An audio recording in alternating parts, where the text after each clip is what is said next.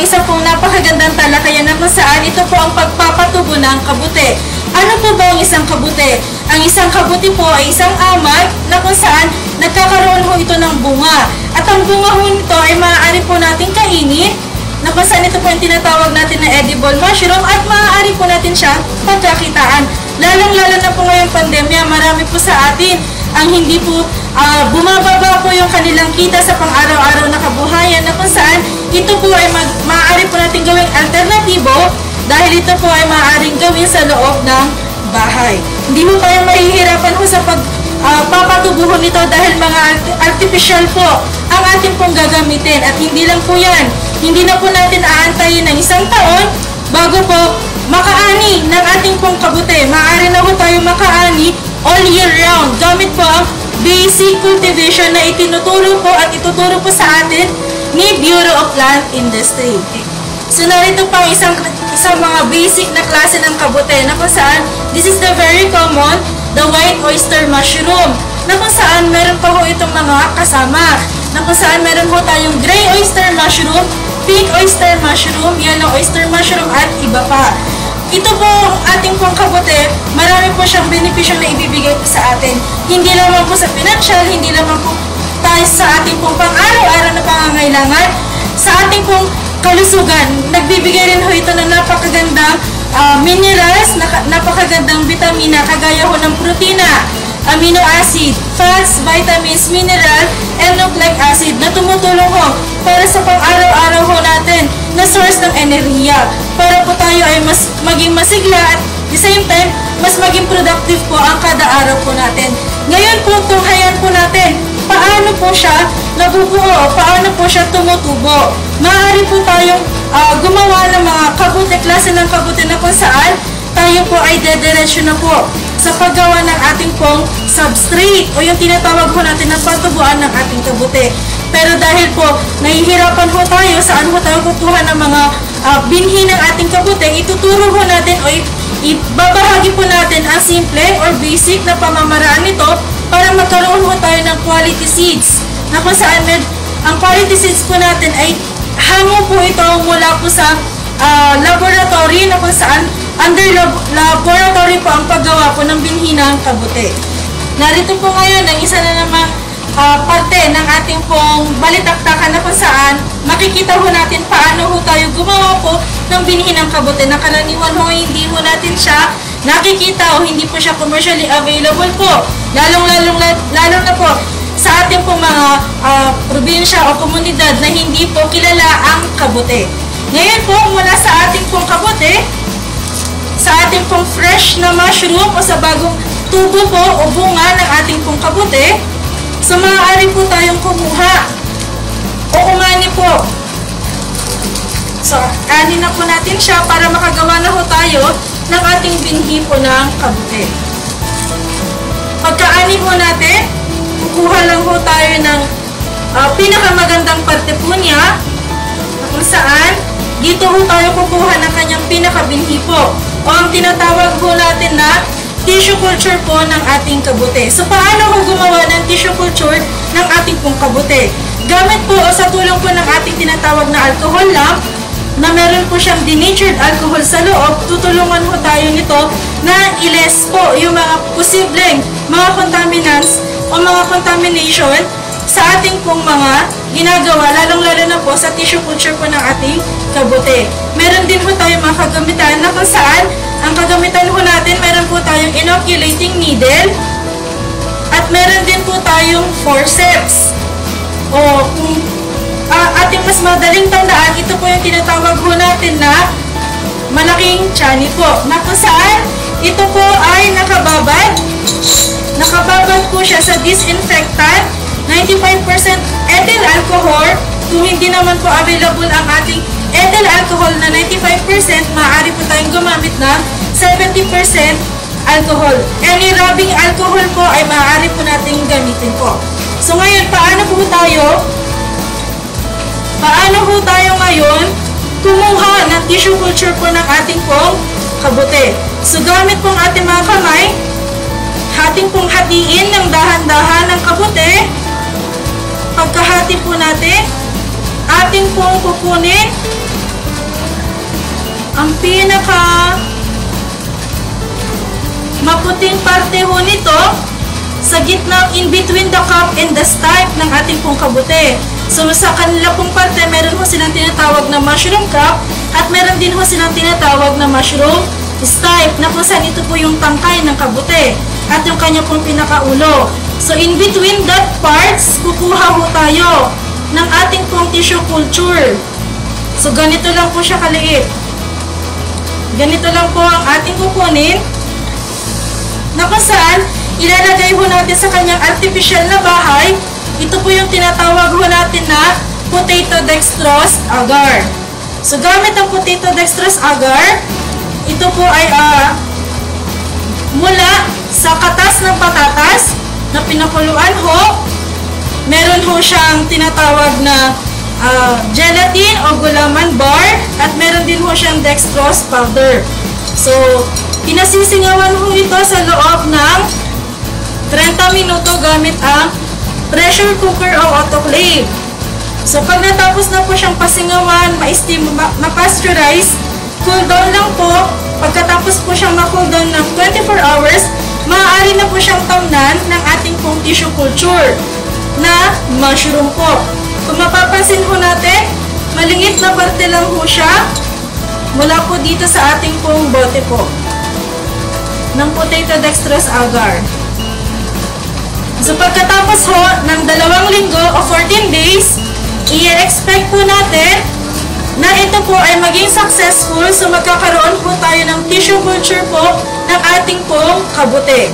So ito na po yung successful tissue culture po ng ating kabute. So mapapansin po natin sa likurang parte, wala po siyang kahit na ano pong colony. So, clear lang po yung kanyang likuran na kung saan indication po na successful po ang ating ginawang tissue culture po ng kabute. So, ngayon naman po, tayo naman po ay gagawa ng kanyang pa pangalawang step o ito po yung pangalawang uh, paggawa ho ng binhi ng ating kabute. Ito po yung pagpaparami na ho ng ating pong binhi. So, mula po sa ating starter propagation, kailangan po natin siyang i-replicate para po dumami yung ating pong plant-based material. At the same time, mas makakatipid ho tayo kung gagamit ho tayo ng mga plant-based material. Ano-ano po yung mga klase ng plant-based material po na ating pwedeng gamitin? Any cereal grains. So, pwede ho tayong gumamit ng sorghum seeds, kagaya po nitong aming uh, example dito po sa ating bote ng ketchup butter. So, pwede rin ho kayong gumamit ng palay, maaari din po ang crop corn o trigo. So, ang ating pong uh, grains po, mula po dito sa starter propagation po natin, ating pong ililipat sa bote po natin ng grains po. So, paano po tayo maglipat? So, gamit pa rin po sa support po ng ating alcohol lamp at gamit po ang ating inoculating needle, kukuha po tayo ng stub ng ating pong kabute tissue culture po ng ating kabute na kung saan maliit lang po ang kukunin natin.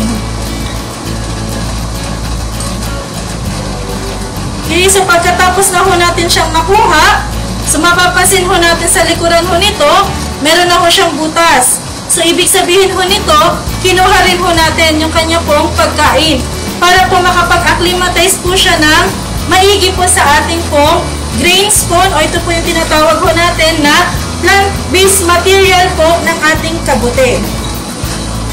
Okay, so maaari din na po natin siyang ilagay. Dahan-dahan lang po natin siyang ipatong sa gitnang parte po ng ating bote at saka po natin siya itatayo. So narito na po ang ating pong itinanim nasa gitnang parte po ng ating bote. After 2 weeks na naman po o 14 days, magiging successful po siya. Kailangan po puting-puti po ang kanyang kulay sa loob ng bote. Kapag may nakita ko kayong ibang kulay, ang ibig sabihin po nito, ito ay maaari o kontaminado na po. So ano pong gagamit, gagawin po natin kapag kontaminado na? Ito na po ay ating pong i-discard. Paano mo tayo mag-discard? So, ang pag-discard po ng ating uh, planting material po ng ating pong kabute, ide-decontaminate ho ulit natin ito o pasisingawan natin hanggang mamatay po yung ating pong mga contaminants o yung mga iba-ibang kulay po sa loob ng bote. So, matapos po nating magawa ang ating pong binhi ng kabute, handa na po tayong gumawa po ng patubuan po ng ating kabute. So, paano po? Ano po yung mga ingredients po ng ating kabute? So, meron po tayong 78% na usot. So, ito na po yun. Na meron na po itong halong 20% na darak. Ano po ang darak? Ito po ang rice bran na tinatawag po natin. So, ang pusot po natin, good lumber. Kung mapapansin nyo po ito, parang chocolate na pang kulay dahil ito po ay na-ferment na po for 21 days. Ating pong lalagyan na ito ng 1% na asukal, brown sugar po kung maaari. Kung wala po, mas maigi pong gamitin ang molasses. Para po meron pong pagkain o additional na pagkain po ang ating kabute. At kailangan din po natin siyang dagdagan ng tinatawag po natin na agricultural lime o apog po. Para po, meron po siyang additional din na sustansya at maiwasan niya po yung ibang mga kontaminasyon na kung saan nag-neutral din po ito ng pH ng ating pong substrate. So, ang dahilan po kaya po natin kailangan pong i-ferment ang ating pong substrate o ang ating kusot po para po matanggal yung acid content ng ating pong substrate o yung ating pong patubuan. Ngayon po, ready na po tayong haluin po ito. So, ihalo lang po natin siya ng maigi po.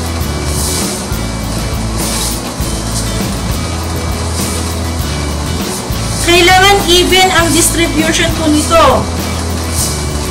So, para po tayo naghahalo po ng semento sa construction, ganun po sana. Ang tamang pamamaraan po ng paghahalo po ng ating substrate. So, kapag tayo po ay natapos na, handa na po ang ating pong substrate na ilagay sa kanya pong lalagyan kung saan tinatawag po natin siya na PP bag o polypropylene bag. Ito po ay may sukat na 6 by 12 by 0.3 thickness. So ano po ang gagawin natin para po magkaroon po ng forma ang ating pong fruiting bag? So bawat dulo po nito, tutupiin lang po natin, then ipapasok po natin sa loob. Pagkatapos po, babalatin lang po natin siya.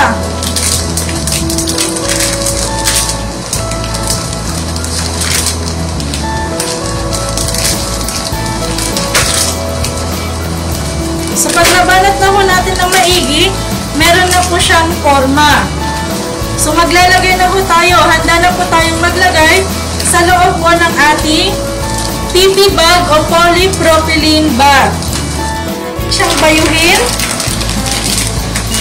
para po maging compacted po ang ating pong substrate.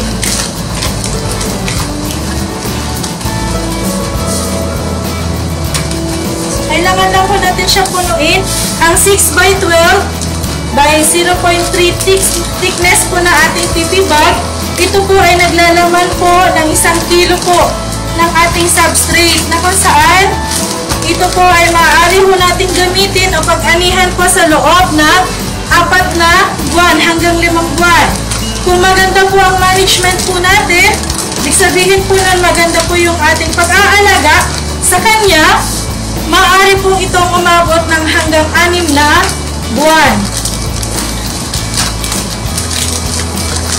So matapos po natin siyang malagyan, so approximately 1 kilo po ang ating pong substrate, kailangan po natin siyang siksikin pa ng maigi po. At pagkatapos po, lalagyan po natin siya ng tinatawag po natin na PVC ring. So, pwede po tayong bumili po sa mga naturang uh, bilihan kagaya po ng Divisoria, nakakabili na po ito. So, shoot lang po natin. Pagkatapos po,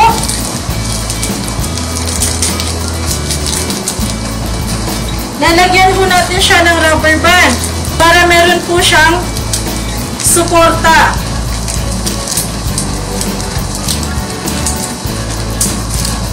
Okay po, so ganito po ang itsura niya. Pagkatapos po nito, ating pong lalagyan ng tinatawag po natin na cotton waste. O ito po yung bunel, kung tawagin ho sa Divisoria. So maaari din ho kayong mamili po ng inyo pong mga kagamitan ho sa Divisoria po. So ilalagay lang po natin siya as cotton plug ng ating pong fruiting bag. So, ganito na po ang magiging itsura niya.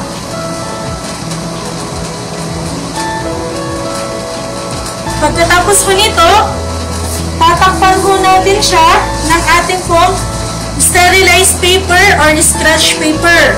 Kung drum ang ginamit po natin sa ating pong pag-sterilize o alternatibo po, tayo po ay gagamit po ng PP bag po ulit para hindi po siya mabasa habang tayo po ay nag steam So, kailangan lang po natin siyang takpan. Higpitan po natin ang pagra-rubber band.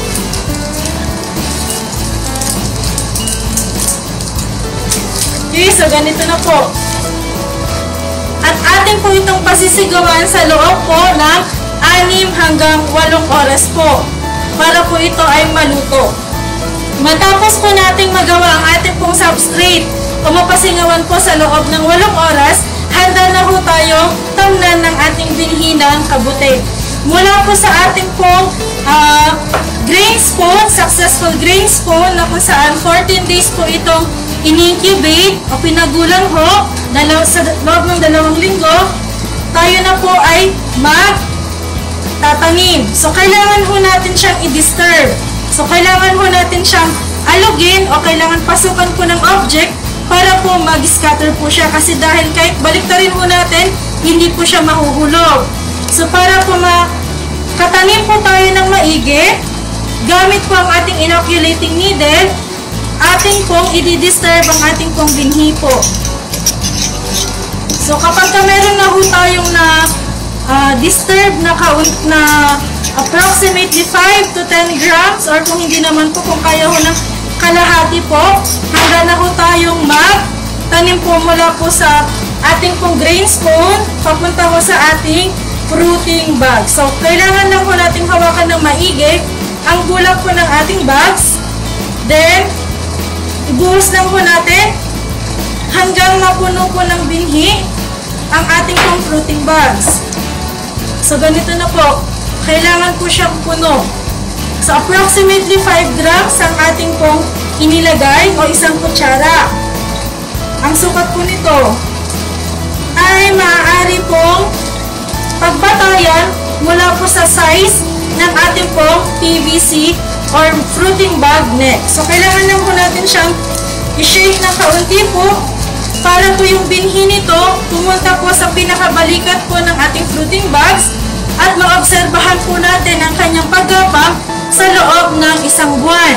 So, kailangan po siyang gumapang sa loob ng isang buwan. So, pagkatapos po ng isang buwan, ganito na po kaputi dapat ang ating pong fruiting bag na kung saan after 45 days, magkakaroon na po ito 30 to 45 days, magkakaroon na po ito ng pinhead na kung saan later on po, ito po ay lalaki. So, pag lumaki na po siya, for the 45th day, pwede na po siyang anihin. Kagaya po na nakikita po ninyo sa ating pong larawan. May mga, uh, maaari po tayong mga value addition na pwedeng gawin po sa ating pong kabute na kung saan pwede po natin siyang lutuin kaagad bilang ulam. O maaari din po natin siyang uh, gawin po mga value added like crispy mushroom, like empanada, kimchi, so on and so forth, na para po makita po sa ating screen yung recipe, recipe po nito at mga procedure paano po siya gawin. Kagaya din po ng ating po mga uh, kabute na kung saan posible po tayo makakita ng mga kamukha po nito sa ating wild. So meron po tayong sample ng ating pong mga non-edible mushroom na makikita ko sa ating screen na kung saan hindi po siya uh, dinedeclare o hindi po siya uh, karaniwan na kinakain, hindi rin naman po siya poisonous. So, hindi po natin siya identified na edible but hindi rin po siya nakakain. So maaaring medicinal po ito o hindi po. So para po tayo ay uh, makaiwas sa mga poisonous mushroom, pwede po nating uh, idulog po ito sa mga mycologists, sa ating po mga institusyon na kung saan marami hong nag-identify ng kabute para po maiwasan po yung ating poison, uh, pagka-poison po ng ating pong katawan. So kasama po nito, maaari din po natin makita sa ating pong screen ang ating pong sample o ito po yung pinaka-ideal return of investment po o ito po yung mga prospect, ano ba, saan ba patungo ang aking pinag-aaralan? Meron bang mga uh, profit na maibibigay sa akin ang aking uh, ginagawa, hindi lamang siya bilang pagkain o personal consumption, maaari ko din ba siyang pagkakitaan? Yes po. So, na naka-flash po sa inyo mga screen ang kanila pong mga uh, return of investment, so step by step. So, ano pong ibig sabihin po ng step by step? So, maaari pong mula po sa ating tissue culture, o po, maaari pong mula po sa ating pong binhi ng kabute, maaari po natin silang pagkakitaan. So from the tissue culture ng ating pong kabute to the grain spoon, meron po tayong maaaring pagkakitaan hanggang sa fruiting bag po ng ating pong kabute. So maaari po, ma mamimili po kayo anong stages nyo po pwedeng uh, pagkakitaan yan dahil sa ating pong mga growers, naghahanap po sila ng mga quality seeds. So ito po yung uh, proseso ng quality seeds. So, maaari po kayo magbenta ng ating pong tissue culture lang kung tayo ay nasa NCR, kung tayo ay nasa syudad, dahil yung po pinakamabilis po natin na gawin po. Since yung mga resources po natin is within the area lang po natin, kagaya din po ng ating grain spoon o binhi po ng kabute. So, karaniwan po ang ating mga fruit, fruiting bags, pinoproduce na po ito ng ating mga provincial, sa mga provincial areas na kung saan nakakakolekta ho tayo ng mga agricultural waste kagaya ho ng pusot, maaari din po tayong gumamit ng uh, dayami o yung ating pong rice straw, maaari din po ang banana leaves o yung ating pong dahon ng saging na luma na ho. Maaari din po ang corn cobs, corn husk, maaari din po ang mga string bean pods at iba pang mga agricultural waste na kung saan mayaman po sa lignocellulose. Okay, so any uh, uh, biodegradable na kung saan uh, uh, from dun sa anihan o dun sa cropping natin waste na po ito, maaari po natin silang kolektahin. So narito na po tayo ngayon sa ating paghahanda bilang isa sa mga value addition. Ano po yung mga value added products na maaari po natin gawin sa kabute? Maaari po tayo makapagluto ng tinatawag po natin na crispy mushroom. So ano-ano po yung mga ingredients na kakailanganin ho natin sa pagluluto po o paggawa ng ating pong crispy mushroom. So nangangailangan ho tayo ng ating pong mushroom. So freshly harvest po. Paano po natin siya ma-identify na freshly harvest? Meron pa po siyang pinakaugat sa kanyang ilalim po. Okay, so kailangan din po natin ng itlog na kung saan binatin na ho siya or na ano na po, uh, na-mix na po ng kaunti Meron din po tayo dito kasaba flour na ating pong lalagyan ng uh, pampalasa. Kailangan po natin siyang lagyan ng asin at ng ating pong paminta. At lalagyan din po natin siya ng ating pong crispy fry para po mas tastier po ang ating pong kabute. Okay, so paano po? Simple lang po para lang po tayong gumagawa ng chicken, uh, fried chicken po. So, kailangan lang po natin tanggalin ang pinakaugat ng ating pong kabute. So, no need to wash our mushroom. So, pagkatapos po natin itong mai mahiwa, so dahan-dahan po natin siyang ilagay sa ating pong itlog.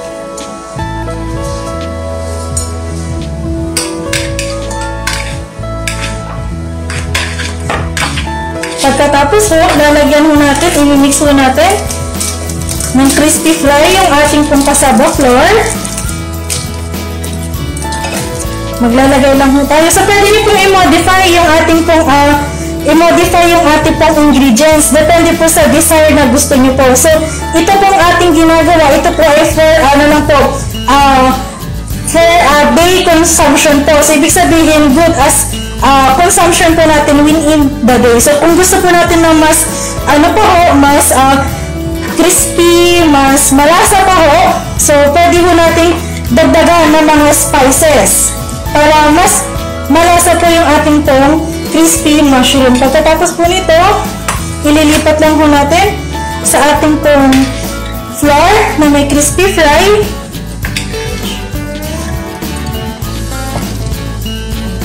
Para makoat po ito,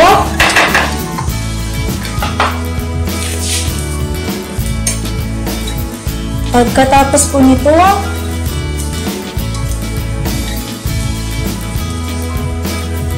So, pwede rin po kayong gumamit ng de-oiler para mas tumagal po yung crispiness ng ating pong mushroom. Para mas tumagal dahil uh, ito lang po ay for a day consumption lang po yung crispiness niya. Okay po, so pagkatapos po, tanggalin po natin yung excess na flour with seasonings po. Then, ready na po tayo to fry our mushroom. So, ilalagay na po natin siya sa ating pong oil cooking oil na kung saan uminit na po in low fire po para hindi po siya agad masunog po. So, ilalagay lang natin siya. So, wait po natin hanggang maging golden brown. Then, yuri, ready na po tayo to taste our crispy mushroom po. Ating golden brown crispy mushroom ating hahanguin na po ito. So, kailangan natin ng strainer para po ma-drain ang ating pong excess oil.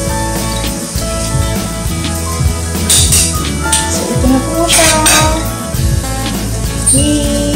Okay po. So, ito na po yung ating crispy mushroom. Hihi, yum, yum, yum.